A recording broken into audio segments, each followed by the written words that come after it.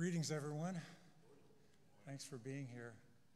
Uh, we're here to worship God, and also today it's uh, the 2nd of July, so we're coming into the 4th of July. So we're going to sing a couple of patriotic songs. Um, number 799 in your hymn book, America the Beautiful, will be our first one. Please stand.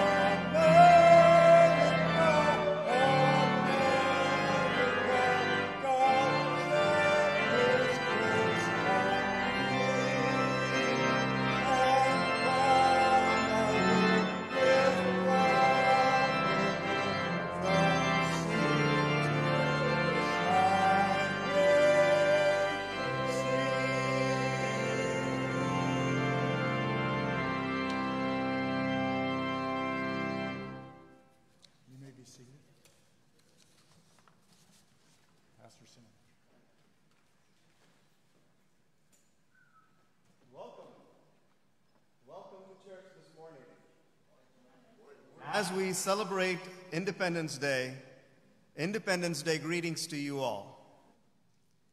Our nation is free, and we are all free. We're going to be hearing a sermon about true freedom in a little while. But we are so thankful and grateful for this great nation. And we, we are thankful for God for providing this freedom to this great nation and keeping us as forerunners for the rest of the world. Well, thank you for coming this morning and celebrating God together as a body of Christ. If you are here for the first time, we welcome you in Jesus' name. If you are here for more than once, we still welcome you in Jesus' name.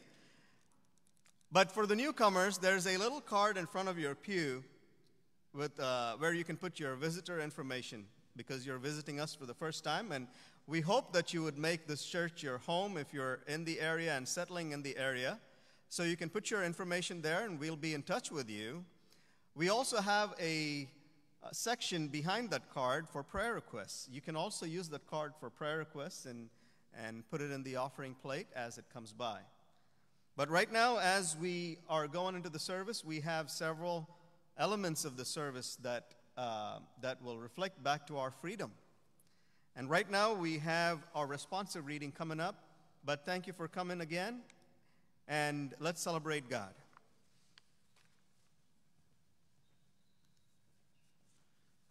Good morning. If you uh, have your Bible or if you uh, want to take out uh, the Bible in front of you in the pew and turn to uh, Corinthians, uh, that would be great. Third chapter and uh, verse 1 through 4, and then 12 through 16. Since you have been raised to new life with Christ, set your sights on the realities of heaven, where Christ sits in the place of honor at God's right hand.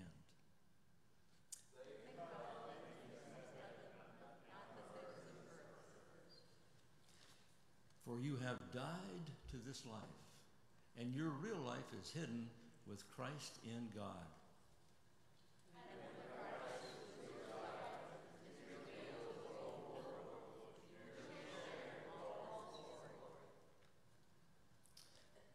Since God chose you to be the holy people he loves, you must clothe yourselves in tender-hearted mercy, kindness, humility, gentleness, and patience.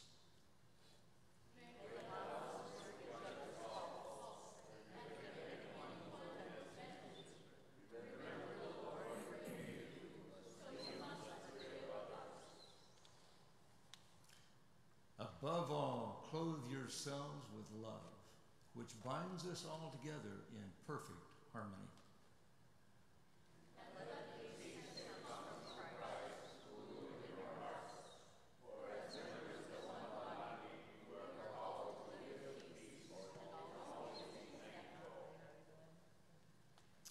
Let the message of Christ in all its richness fill your lives.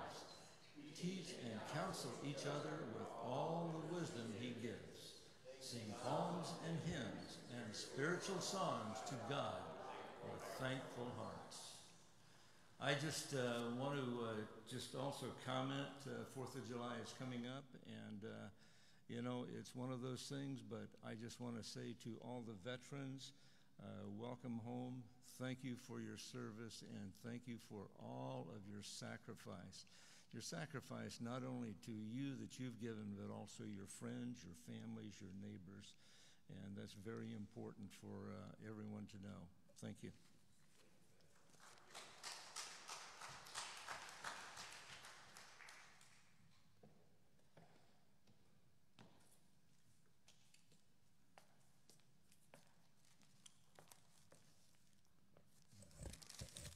Almighty wise and merciful Jehovah God, I'm thankful that you have allowed us to assemble in your house and worship and praise you.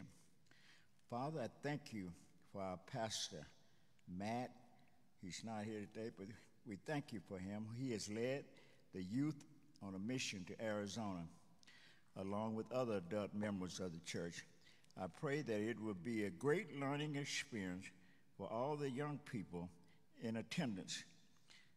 Father, please keep the entire group safe and in your grace and bring them home safely. Father, as we we are so thankful for this great nation of ours, the United States of America. As we approach Independence Day, Lord, Father, please keep your loving arms of protection around each and every American who is traveling on the highways and those who are flying. Take them to their destination safely and return them home safe. And Father, please help each and every one of us who are celebrating in this city and this state to be responsible to, and pray. And now we pray, Father, let us all pray the very prayer you taught your disciples to pray. Our Father, who art in heaven, hallowed be thy name. Let thy kingdom come, thy will be done on earth as it is in heaven. Give us this day our daily bread, and forgive us our debts as we forgive our debtors. Lead us not into temptation, but deliver us from all that is evil. For thine is your kingdom, and the power, and the glory forever. Amen.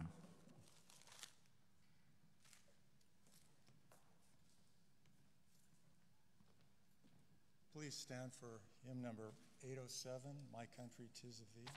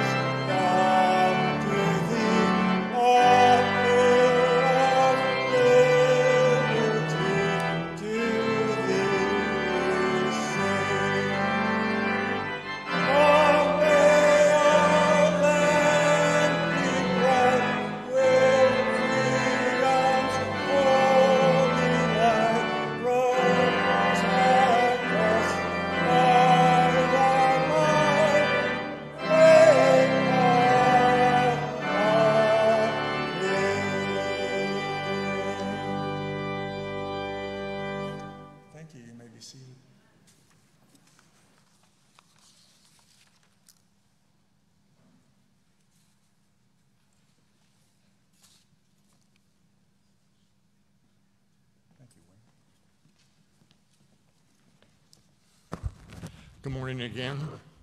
Could we bow in prayer as we bring come to the time to give our gifts and offerings back to God? Oh, Father, thank you for this day and thank you for this church of yours. And we come to this church to praise you and to work for you and to support missions wherever they are throughout the world. Help us to give graciously and let us know that God loves a cheerful giver. In Jesus' name we pray. Amen.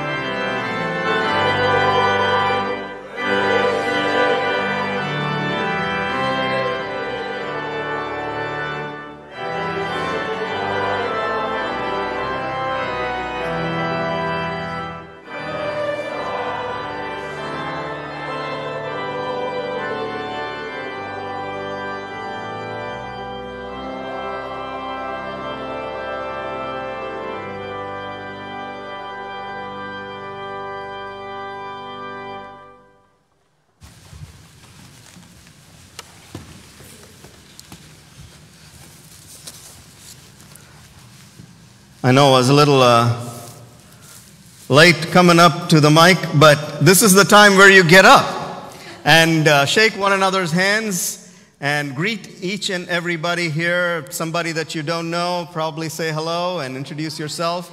And we're going to go into our next section of our service.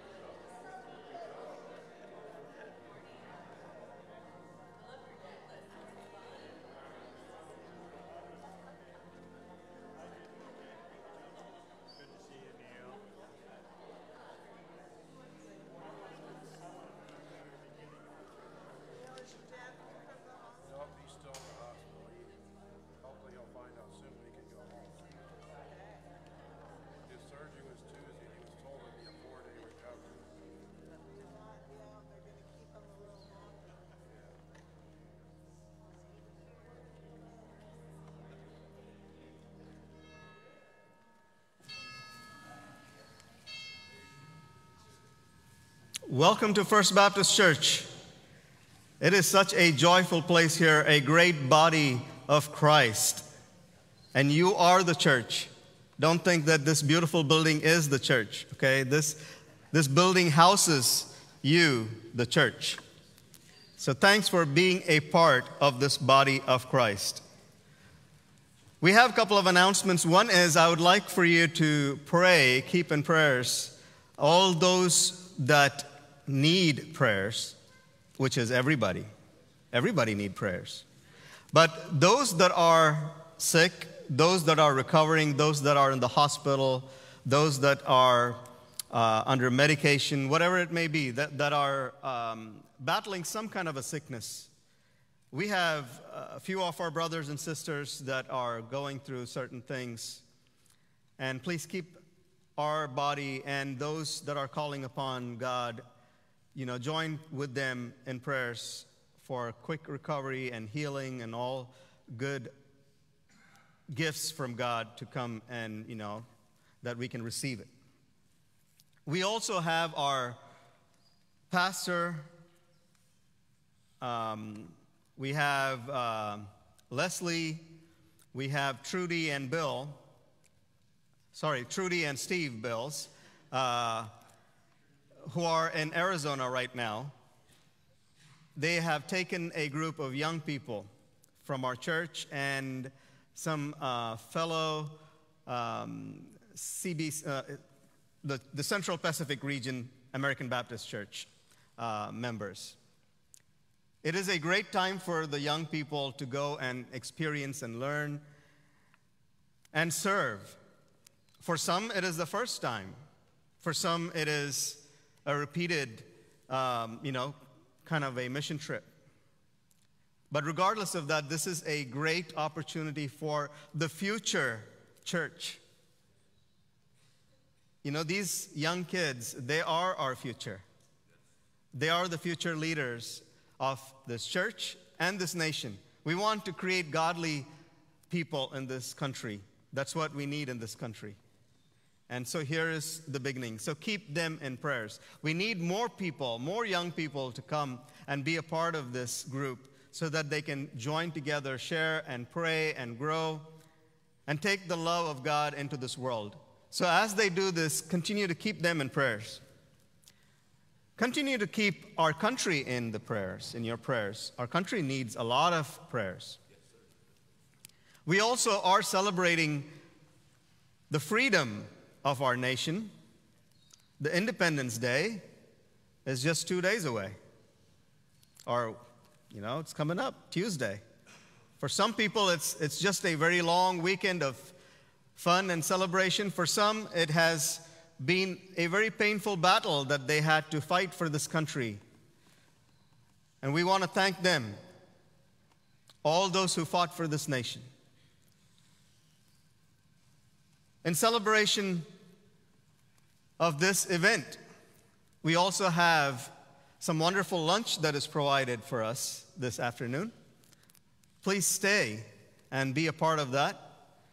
I want to thank all the volunteers that took care, especially Kathy. I don't know if Kathy is here, but there she is. And uh, Vicky and all the great volunteers that are helping us on a regular basis because most of our people are out, they're traveling. And we still are able to do great things. So that means that we have some awesome people. We have some great children's and youth programs. So if you know of any children or youth, please um, invite them to church. Invite those families to church. It is a awesome time for the young people to be a part of God's, you know, community. And so we have several events coming up. If there are some shy kids, I have one in my house, and um, you know, but I drag uh, my kids to church, so they have no option. But if you know of any shy kids, there are some great events that they can go to, um, as you can see, um, which they don't need to, you know, step foot in the church building, but they can still be a part of this group. And once they get acquainted with their friends and with, with the program, they can come into the church. That's a great program, you know, that our church has um, partnered with other churches through the J13 program to offer some really wonderful time. Uh, you know, like going for, to a bowling uh, event or going out just to meet people and things like that. It is really wonderful. There are more events like this in our newsletter. If you haven't found our newsletter yet, it would be out in the desk or it will be in our website, on our website please make sure that you read our newsletter. Um, you know, we have some good articles there, some wonderful events. Um, there's some good calendar for the next three months. If you have anything in mind that you want to attend and all that stuff, there you go. So, I don't want to take up a lot more time, but I wanted to spend this time meditating and thanking God for the freedom that He has given to us in this nation. I want to also thank the great people that was responsible for the freedom of this nation, the freedom that you and I celebrate today. You know, I was born in a different country, and I can guarantee you that there is no other nation like this nation. It could have all its you know, opinions that is coming from everywhere. I've traveled a lot of countries, but there is no other country in the world that I have been to as good as America, where each and everybody has so much of freedom. Amen. And it did not come free. Amen. And I'm thankful for that. I'm thankful for each and everybody that went and fought for this nation, that are still out of this nation, protecting this nation, inside this nation, protecting this nation. We have so many good men and women in our, in our congregation. We're so, I'm, I'm, I'm friends with all of them. Thank you. Thank you for doing what you're doing, continuing to love this country. And we want to pray for this nation. I, I did, I, I want to remind you again and again our, our country needs a lot of prayer. We need to protect this freedom. And we want to cherish this freedom for our, the next generations. Let's pray. Dear God, our loving Father, we thank you. We praise you and we love you. You're a God who loves freedom. And you have given it to all mankind, Lord. And we thank you because, because of you, because of your Son, Jesus Christ, we are free today. And thank you for giving that concept of freedom to this nation, to this great nation, so that we all can enjoy it. And we thank you for all those men and women who were responsible for protecting this nation and for fighting for this nation. Lord, we ask that your mercy and grace continue to be upon this nation. That we will not run away from you, but honor you and worship you and thank you for everything that we have in our life, especially in this nation. We pray that this freedom that we enjoy in this nation will be spread across the world, that others may enjoy in their own homelands. After all, you sent your Son, Jesus Christ, for all humanity. And America has been fighting for the world. A lot of countries have benefited. And Father, we thank you and we praise you. We love you. And we thank you for each and every day of our life, celebrating your goodness and the freedom that we have in this nation. In Jesus' name, amen.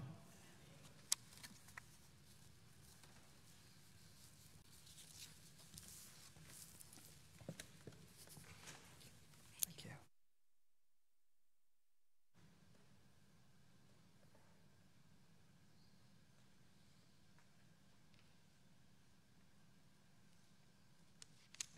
Good morning again. it's a beautiful day, isn't it? We have much to be grateful for in this great country. Um, today's reading is from Galatians chapter 5, verses 10 to 13, and chapter 6, verses 14 to 16. And it will be from the Amplified Bible. How many have uh, been uh, conversant with the Amplified Bible. I never knew about it until uh, Pastor Sam said that it was his preferred uh, version. Uh, and uh, so I looked it up on the internet and uh, got a little bit of information on it. Um, as you will notice as we go along here, there will be words, phrases in um, brackets. And uh, these are not part of the original uh, translation, but they're amplifications to help us understand the scripture more fully.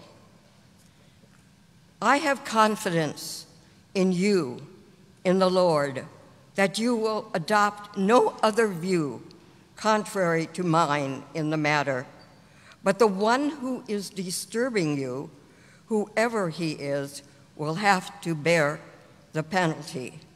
But as for me, brothers, if I am still preaching circumcision, as I, I, I have done before I met Christ, and as some accuse me of doing now, as necessary for salvation, why am I still being persecuted by Jews? In that case, the stumbling block of the cross to unbelieving Jews has been abolished. I wish that those who are troubling you by teaching that circumcision is necessary for salvation would even go all the way and castrate themselves. For you, my brothers, were called to freedom.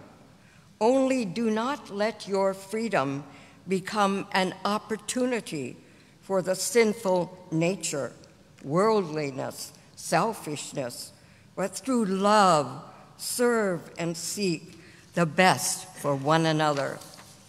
But far be it for me to boast in anything or anyone except in the cross of our Lord Jesus Christ through whom the world has been crucified to me, and I to the world. For neither is circumcision anything of any importance, nor uncircumcision, but only a new creation, which is the result of a new birth, a spiritual transformation, a new nature in Christ Jesus. Peace and mercy be upon all who walk by this rule, who discipline themselves and conduct their lives by this principle, and upon the true Israel of God, Jewish believers. The word of God for the people of God.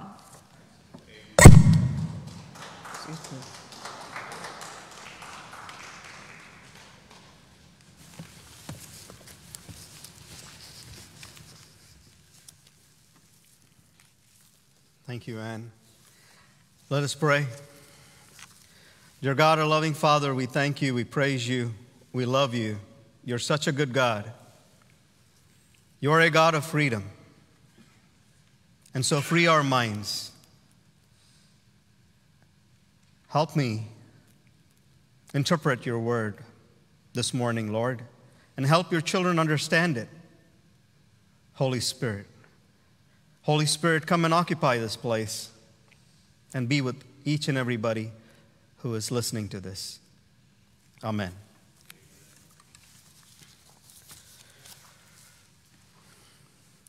Well, to all those who are here in the sanctuary and to those that are listening online, welcome again. It is a very interesting passage.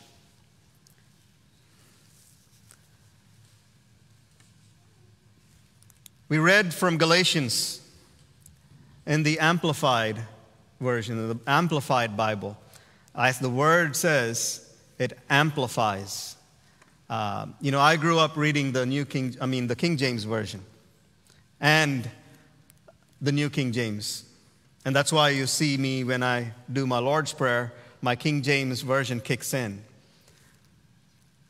And uh, later on, I explored the Amplified, and it was so good. It, it helped me understand because it doesn't change any meaning, it just amplifies what is supposed to be there. It just makes the sentence more longer and your Bible a little bigger.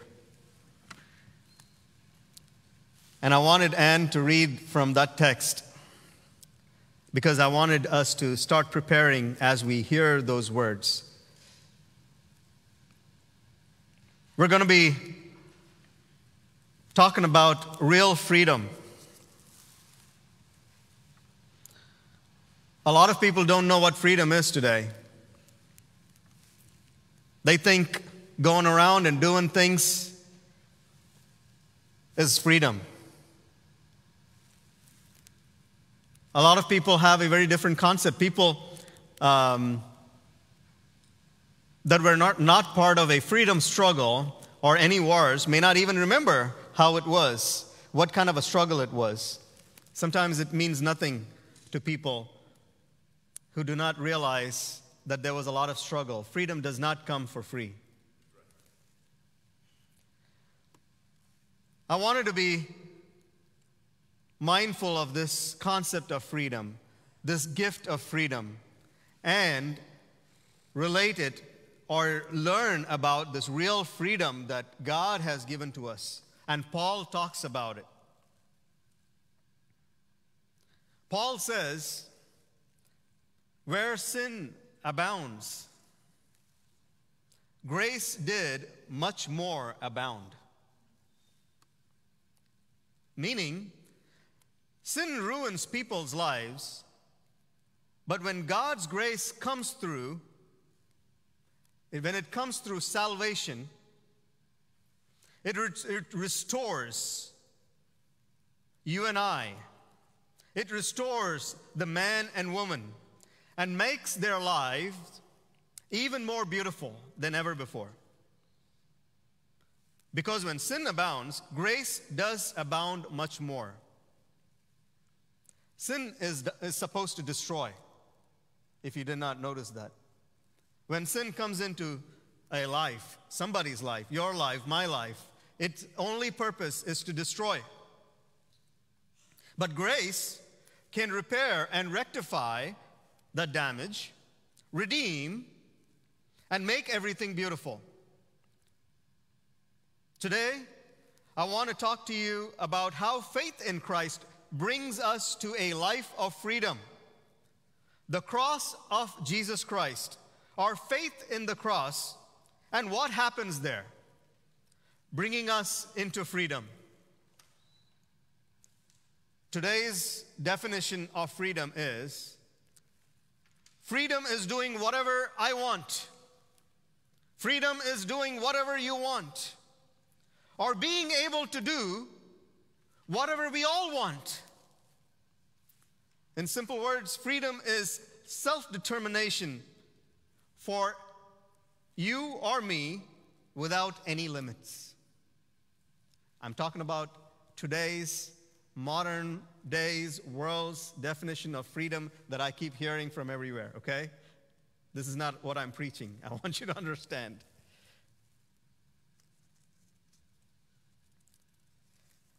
They, whoever defines modern definition of freedom, would say nobody should limit people in any way. They should be able to do whatever they want to do because they have the freedom. Freedom for them is self determination without limits. In a recent interview that I was watching on television, I don't watch a lot of television, but I, um, I got this little antenna, a digital antenna where you can plug in and it picks up all kinds of things from Washington till Salem, Oregon. It's pretty cool. So you get all kinds of uh, different news stations. And there was a person on the TV, there was an interview, and uh, you know, you may call the person a celebrity. Uh, so they, that's why they were doing an interview. And the, the person interviewing was asking the celebrity, So, what is freedom for you? And uh, the celebrity, she said, The important thing about freedom is you must not let others limit what you want to do. Then the interviewer asks her, Have you had that freedom? Have you had that freedom in your life? She thought about it for a bit and she said, Yes, of course, but you are also not free when you are in love.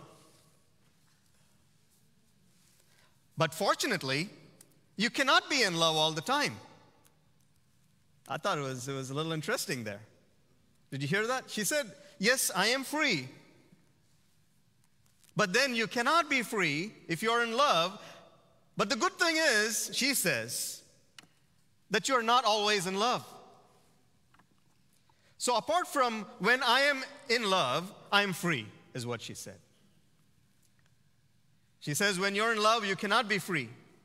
What it means is, when you are in a love relationship or when you are married to somebody, you cannot be completely free because now you got to understand the other person, work with the other person.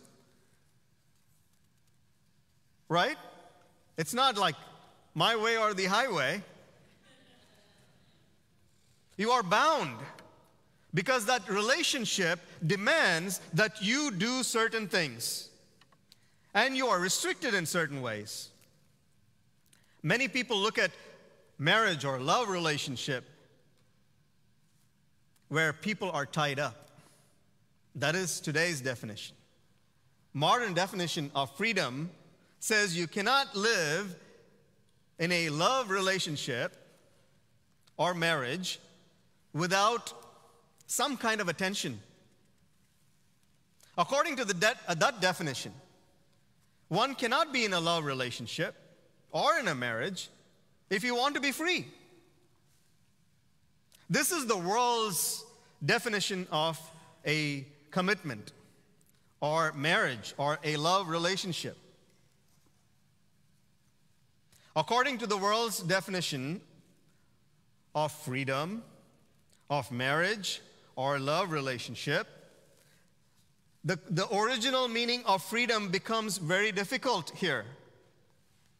Because love relationship demands that you get along with the other person, consider the other person, love the person, and more. But the Bible's definition of marriage is totally different. The Bible's definition of freedom of all this thing that we talked about is totally different. Paul says, "You have been called to liberty." In Galatians 5:13, we read, "You, my brothers and sisters, we're called to be free." Christianity sets people free, my friends. But, but in what way? It sets people free from all the things that they are bound by sin because of sin. Because sin has ruined people. People live with a lot of baggages, a lot of frustration, a lot of anger, a lot of jealousy, a lot of strife, a lot of bitterness, and more.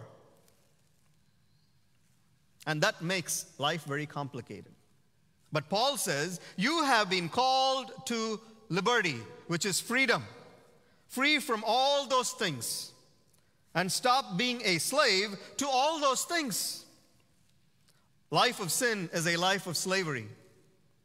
But Christian life is a life of liberty.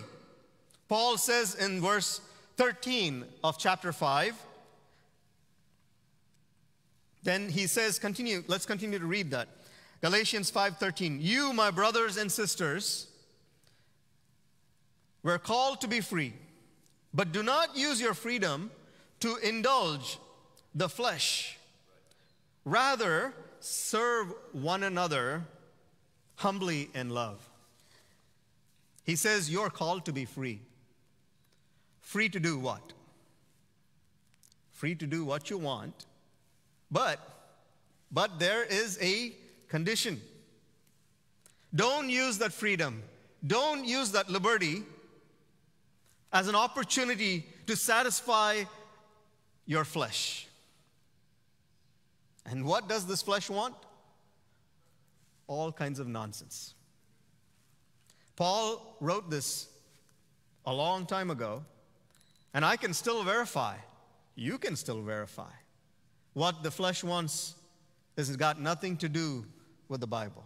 It's got nothing to do with what God's will or purpose in our life is.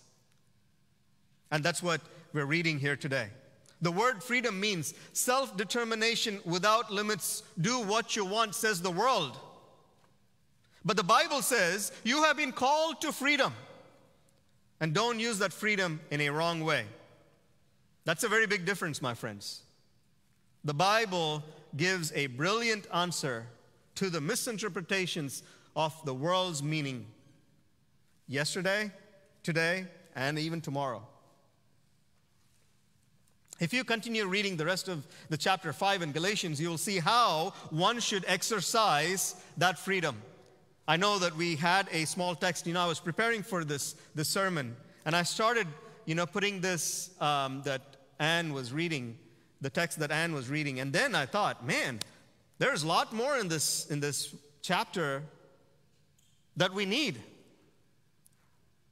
And so I'm going to read it. Galatians 5, and I'm going to read from 14.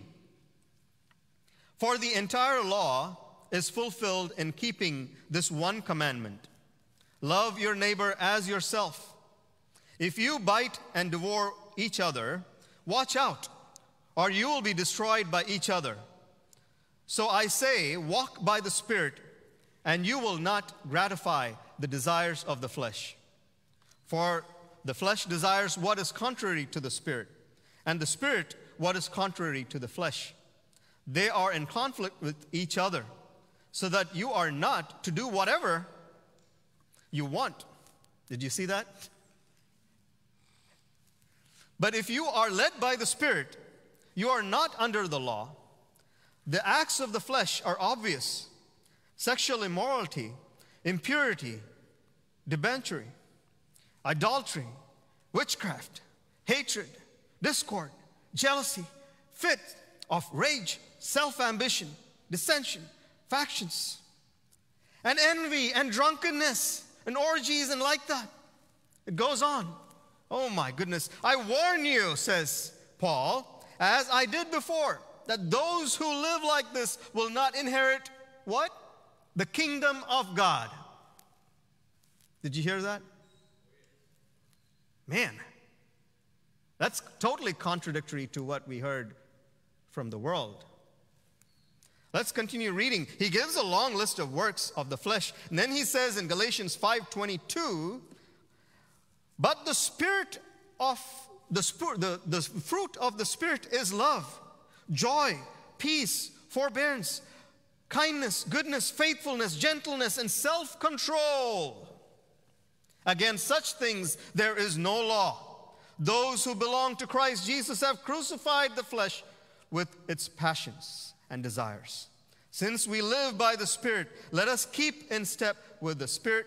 Let us not become conceited, provoking, and envying each other. Are you awake? Did you hear what I said? Did you hear what Paul said? Did you hear what Galatians said in this text? Oh my goodness, no wonder why I wanted to read this because I started preparing for this, this sermon and I said, without all these things, what is freedom to me? What is freedom to you? With all those freedom of I can do what I want, I will end up destroying your freedom. You will destroy you will destroy my freedom and we will together destroy everybody's freedom. That's what will happen. There is a path here.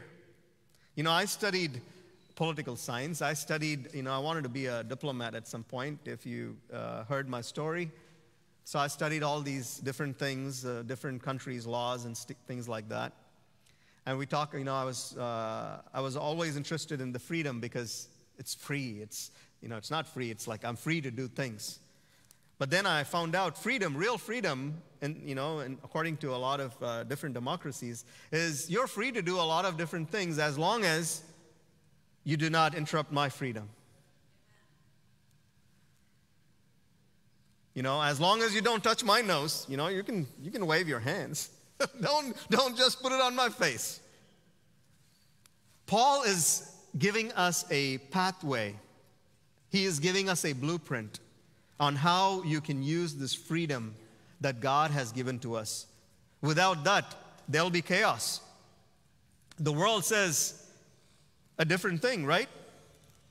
But the Bible is totally different. I'm going to just meditate on verse 10 and 13, but all these verses are so very important. So I would encourage that you concentrate and meditate on all those things as well. He says, Do not live a life of bondage. A life before you come to Christ is a life of bondage, full of sin. Sin looks so good, like we want to sneak out and do a lot of different things. It's so attractive. There are so many sayings in so many different language where you want to do things in secret. Oh, it's so good when you do it the first time. And then you want to cover it up and then you find more ways to cover it up lies and deceit and all kinds of things. A life in sin is a sin full of baggage, a life of bondage. Sin dominates your life and you're bound by it. But now, when Christ comes in, you're set free. Free in serving one another what is a Christian freedom? It's one where, the, where Christ comes and gives you the salvation through the cross of Calvary, and now you're free from that sin that took you bondage. And now you can go out and live your life free. Originally, how God intended it to be. Paul is telling the Galatians, the people in Galatians, you believe in Jesus Christ. You know, these, these people in Galatians, they are, they've, they're converts. They've, they are now believers in Jesus Christ. They got baptized and they are born again believers, but they are young believers. And then, you know, these um, Judaizers or Juda, you know, the Jews that, that are kind of in a confused state, are the legalizers, go to these new converts and they say, You get circumcised, you follow the law, and do, you do these things and th- those things, and so on, and then you can lead a, a life you know, that God has intended for you. Paul is telling the Galatians people, you believe in Jesus Christ and you'll be saved. And as a saved person, you live a new life. And you will follow what the law says after you are a saved person in this new life. Because now the Holy Spirit is instructing you as well. But these people, the legalizers, they are telling these new converts the exact opposite. They're saying, You believe in Jesus Christ, that's okay, but now you follow the law because that is the most important thing. That is the most important thing. Following the law is what will get you saved, is what they are saying, which is not what Paul was saying. And they're saying only if you follow the law, salvation will come to you. Did you hear that? That was not that is not why Jesus came. It was the other way. Jesus gave you the new life, and because of that, you follow the law. You're already redeemed, you're already saved. Now, this was a confusing statement. They're saying, You are set free. But that freedom comes only at the end.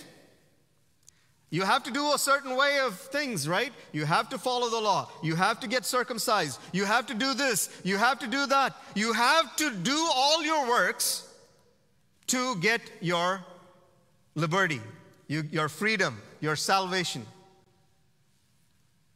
But Jesus gave you that salvation through the cross. Nobody has to. You know, I mean, there's a lot of debates uh, about, you know, are you saved now or are you, are you saved later? Well, you're saved when you believe in Jesus Christ. Yes, yes, yes, you can fall back into sin. That is not the question. But salvation is given. We can confuse all we want, but this is in the Bible, my friends. And if you are hearing some stories like that, go back to this text. This is for you. This is for the, all those people that are confusing confusing you, don't be confused, okay? It's very, very clear here. Paul teaches these things to the people in Galatians, and he wanted to make sure that the message is clear. He's telling, you believe in Jesus Christ and you will be saved. But those people, the legalizers, were saying the exact opposite. Paul says, once you put your faith in Christ, you are now saved. And thereafter, you do the, the works as a saved person. Paul says, do not go back into it. Do not go back into your old life. Keep your freedom that God has brought into your lives. So, what is freedom?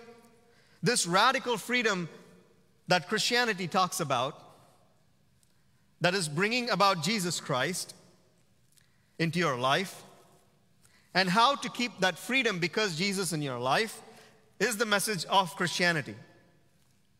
And how to keep that freedom. You know, we were praying for this nation. We prayed thanking God for the freedom in this nation, but we also want to thank God in advance for helping us keep this freedom. And that is important in our lives too. We are free by the salvation, but we need to keep it. Paul says two things in this, in this chapter, in this text that we read, chapters 5 and 6. Paul says two things. First, the first thing is you got to clearly understand that the message of the cross comes as an offense. You heard me right. The, the message of the cross comes to you as an offense, you got to get over that offense to believe in the gospel. The Christian preaching offends everybody. The Christian preaching offends everybody because the, the teachings of Jesus sounds so good and wonderful. People like Christ, most people like Christ, people who don't even go to church, people who don't even claim to be, you know, Christians. They seem to like Christ in some way. They say he's a good man. He was a good man. You know, look at Sermon on the Mount. Such a wonderful sermon. Such a wonderful message for humanity. Jesus was a good man. They don't have any problem with that. But they are offended by the story of the cross. That Jesus died on the cross, shed his blood, and the message that says that it is the death on that cross of Calvary that saved you and me. That is offensive to a lot of people. Because the message of the cross says Jesus had to come from heaven and die for you and me. Because of that one person, humanity is saved. That is offensive. How dare you say that somebody had to come and die? So you're saying that all my good life, I've been following all the laws, I've been a good person in my life. You're saying that I am not saved by doing all these things? How dare you?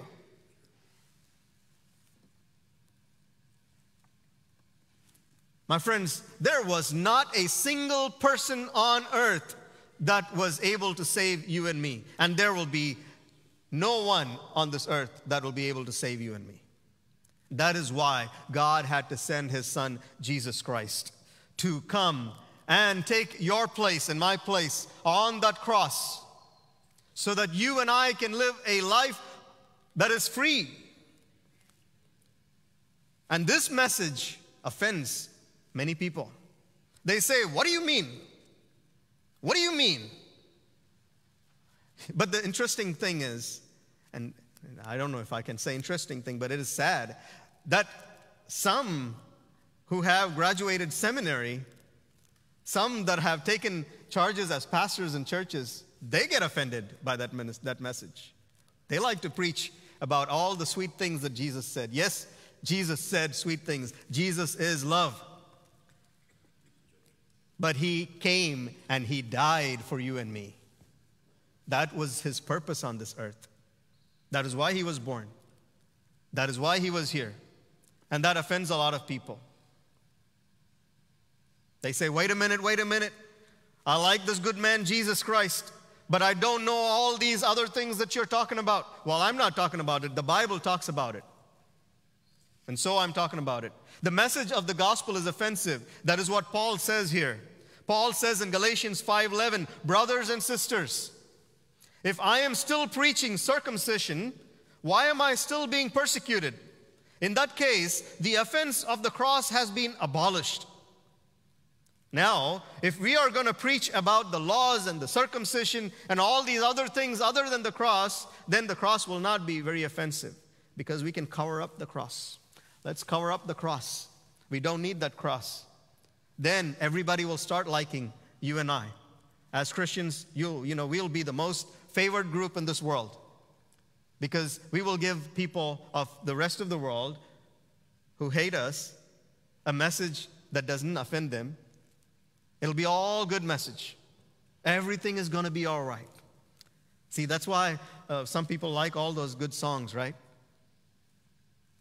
You know, we were, we were recently in Puerto Rico and, you know, there was some very good music there.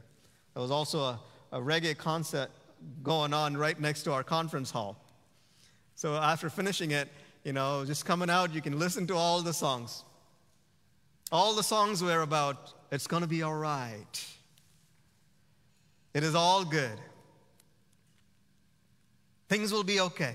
Now, all that message is necessary for us because we need some hope, but that message is already given by God. He's not just saying it's going to be okay, He's saying, I am going to be with you. And so you are going to be okay. You're not just going to be just okay, but you're going to be victors. You're going to be successful. If Paul was preaching circumcision, then he's saying, if you're circumcised, you are in the kingdom of God. But he, that's not what he was saying. He says, if I preach like that, if I was preaching about the law, about circumcision, then we don't need to talk about the cross. And nobody's going to be upset about the cross. The reason, reason why my preaching could be a little bit, little bit offensive is because it contains Christ. And not just any Christ. Listen to this. We got Christ crucified. The crucified Christ.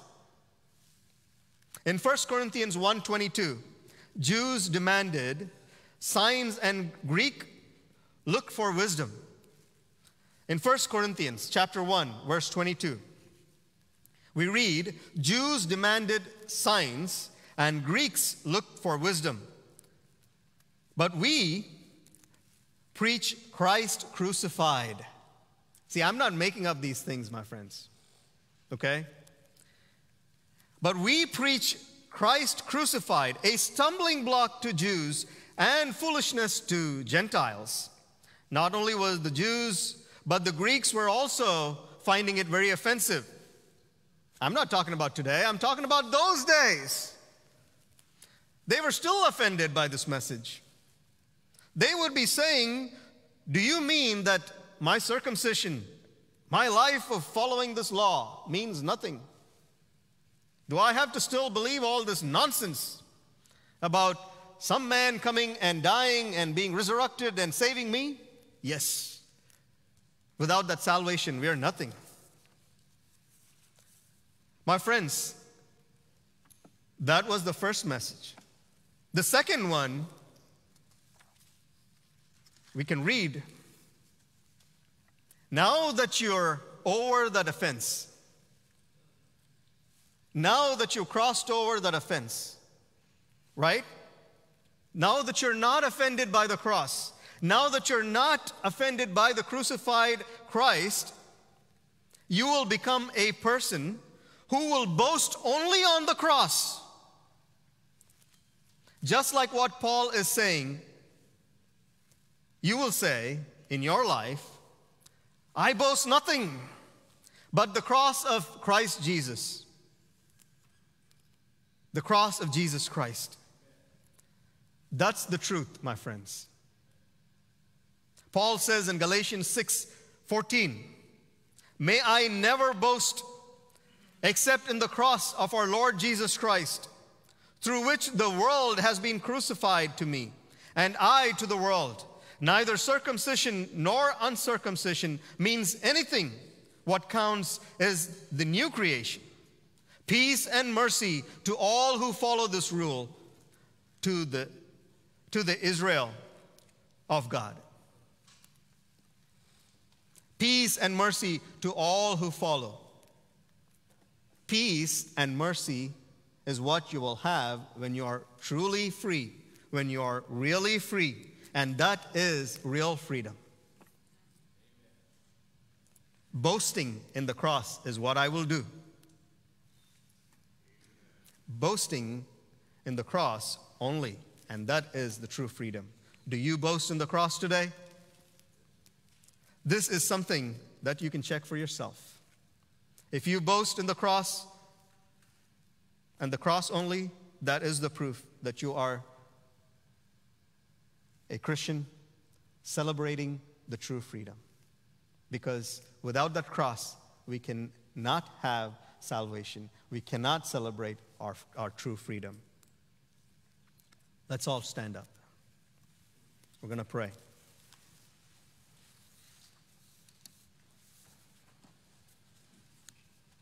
I want to give thanks to God for all His goodness, for the freedom that He's given to me. Not only the freedom, but, but for the instructions that comes with it on how I can celebrate this freedom. Let us pray. Father God, in Jesus' name, we come to you. We thank you, Lord, for these words that we heard today. Thank you for your wonderful grace, O God. Thank you for your cross has made everything possible for us. We are free today because of your cross, because of what you've done for us on the cross. Thank you for setting us free and help us maintain this freedom with which you have set us free, this liberty, this freedom that you have given to us. Help us not to use it in a bad way where our flesh will overtake, but help us to use it in, as an opportunity to serve one another in love, just as the Word of God says. Bless each and every one here and those that are listening online. May they be blessed by your word. May their hearts rejoice as a result of what they heard today. May they boast in you, O Lord, and celebrate the freedom now and forevermore. May the grace of the Lord Jesus Christ and the Son, the love of the Father, and the fellowship of the Holy Spirit abide with each and every one of us, now and forevermore. Amen.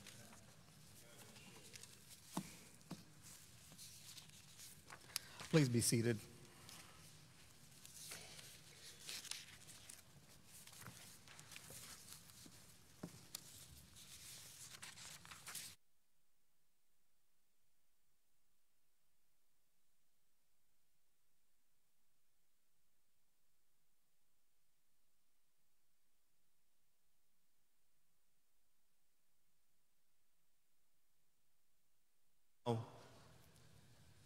Is a message that the world needs to hear. That the cross is the only hope and the freedom comes only through Calvary. And this, my friends, the significance of our communion, the communion that we celebrate every time, is, is a result of all those things that happened on the cross.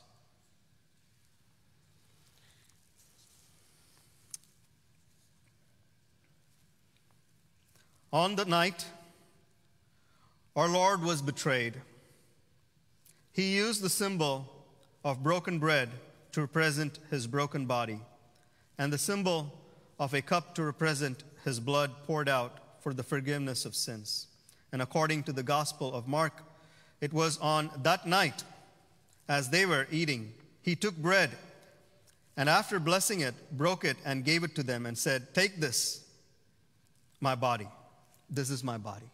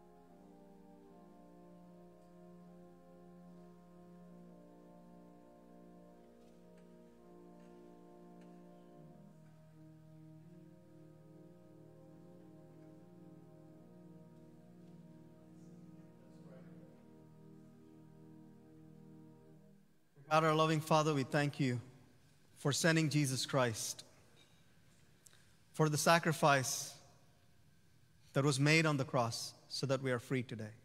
And we'll bless your name. Amen. Please eat.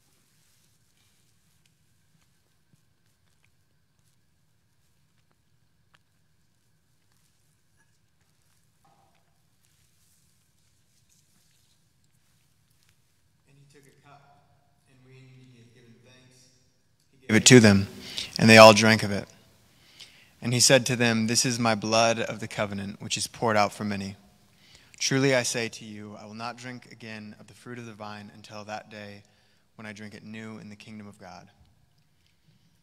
Ushers, you are welcome to come forward and take the wine.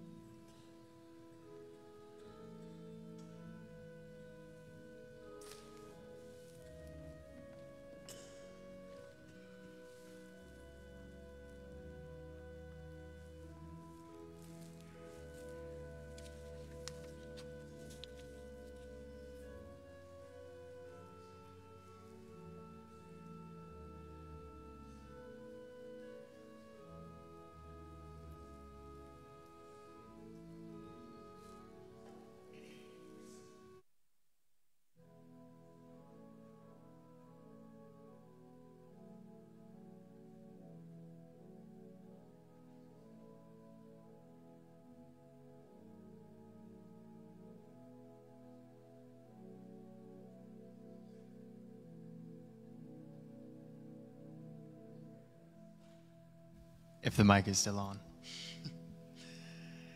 now, this is the blood of Jesus that washes away our sin and makes us all a part of the family of God. Would you partake with me?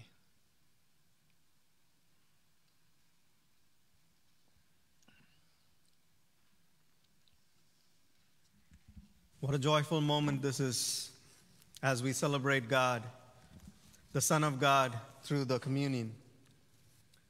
This is also the part where we transition into our contemporary worship service. But we invite you to, um, you know, go on to the prayer room or stick around and have some uh, fellowship in the fellowship hall, or go about doing your, your thing that God has called you to do throughout this week. May God bless you. And as you continue to worship, those of you that continue to worship, let's celebrate God and give thanks in everything through contemporary worship music.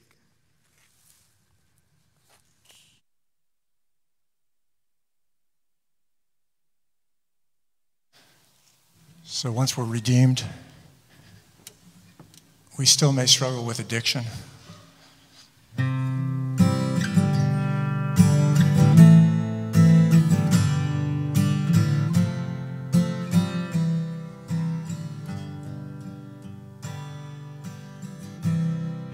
I go again, around this mountain I've been. It's the same thing I'm running from. And though I was set free, sin caught a hold of me, and I'm right back where I started from. So here's the fix I'm in. Stronghold with the typical sin, and it's got me on the run. I get the answers when I call on my Savior and friend, the only one I can't hide from. Calling on grace, calling on grace, calling on grace to rescue me. I still have the faith and the victory. I'm calling on grace to cover me. There's nothing I can do about what I've been through. It's all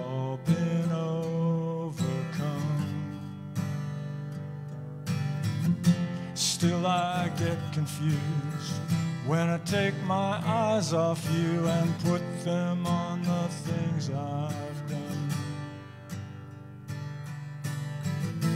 Calling on grace, calling on grace, calling on grace to rescue me. I still have the faith and the victory. Me free.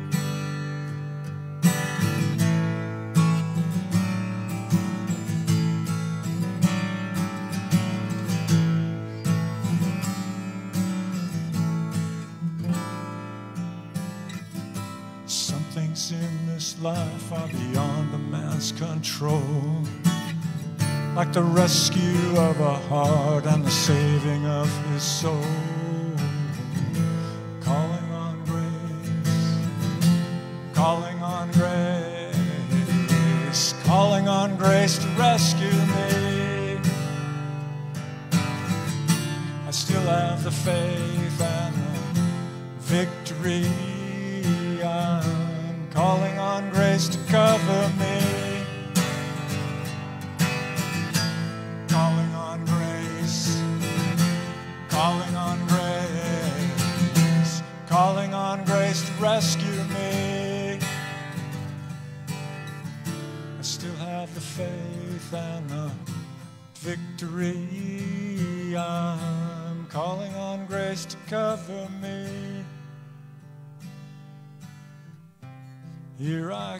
Again, out of this desert I'm in, straight into the promised land.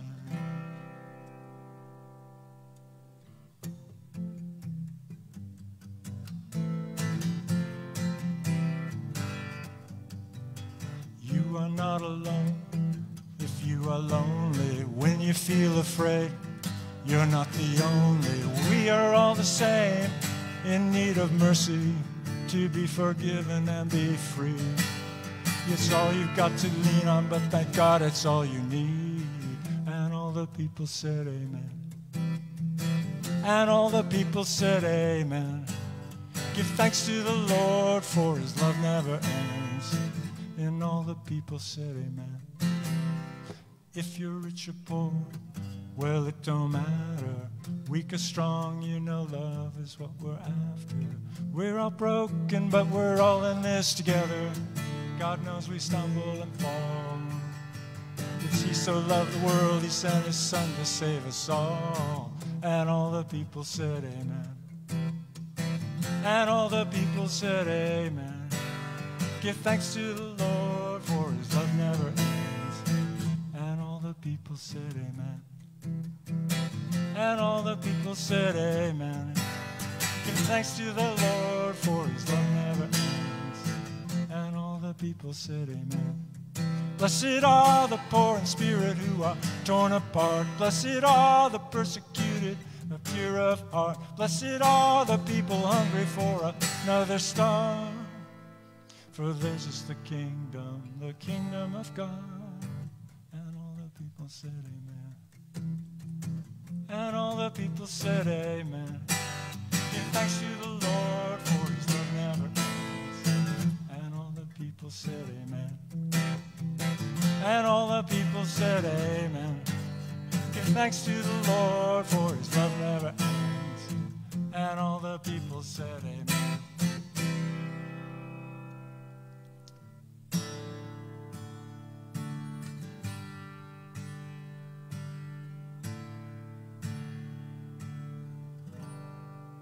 How deep the Father's love for us, how vast beyond all measure, that He would give His only Son to make a wretch His treasure.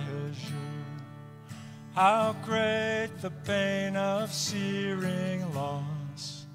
The Father turns His face away as wounds which mar the chosen one bring many sons to glory.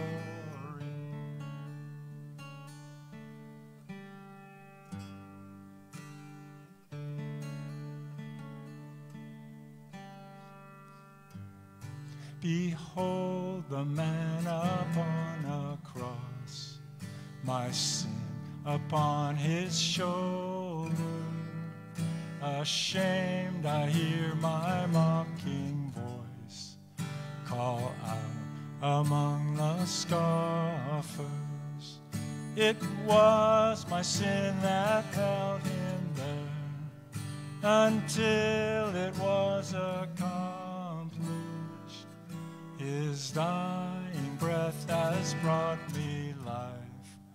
I know that it is finished.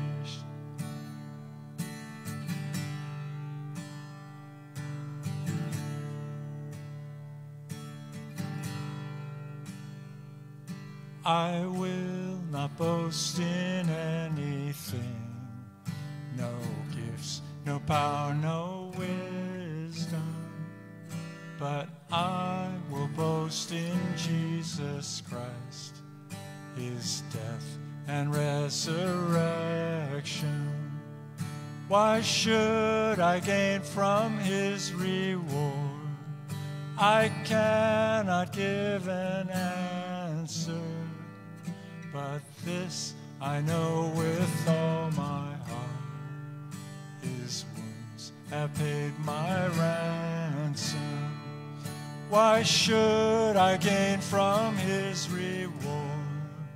I cannot give an answer, but this I know with all my heart. His wounds have paid my ransom.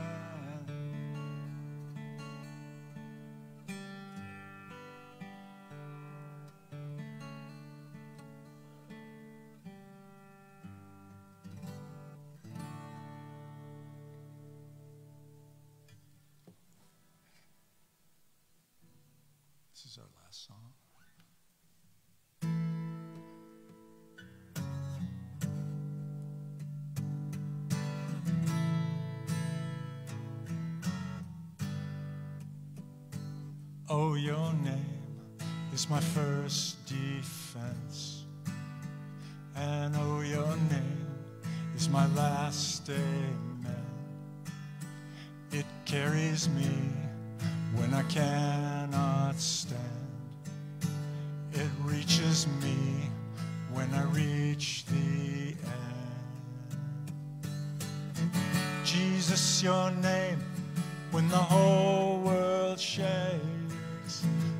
Jesus, your name, I will ever praise. My battle cry every night and day I'll sing your name over everything. I'll sing your name over everything.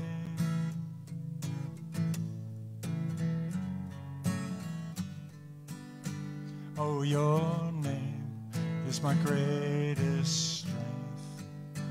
It fights for me and it won't relent.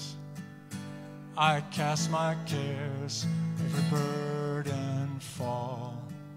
For there's one name that can bear them all.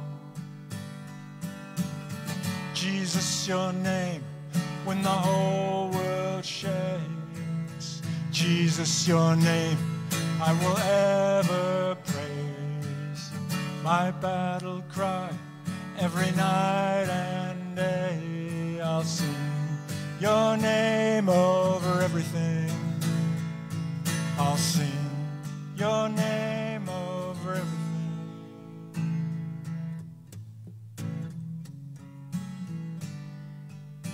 In every storm, you're the Prince of Peace, the Lord of all. You are heaven's King. I'll sing your name till my last breath here. Then I'll sing again with my first breath there. Jesus, your name, when the whole world shakes. Jesus, your name, I will ever. My battle cry, every night and day I'll sing your name over everything. Jesus, your name, when the whole world shakes. Jesus, your name, I will ever praise. my battle cry. Every night and day I'll sing your name over everything. I'll sing your name over everything. Jesus, I'll sing your name over everything. My God, I'll sing your name over everything. Thank you. You're dismissed. And there's luncheon down below.